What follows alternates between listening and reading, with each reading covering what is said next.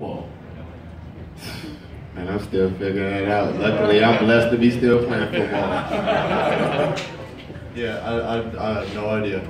I'm again, I'm lucky to be where I am right now. I don't know be without it. No, and on, no plan B right now. No plan B right now. Hey, you know, go in full speed and uh, break hell. You know, Yeah. it, it's it's really it takes a lot to uh, to reach where you want to go, and you got to know that there will be bumps.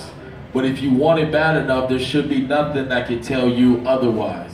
We all know what we have in ourselves. We all know what we think we can do. It's all about chiseling the things around you and doing the things that you need to do to prep yourself to get to that man or, or, or woman that you have in your head. And uh, you know, you should be happy at the end of the day always. Never commit something when you commit your life to something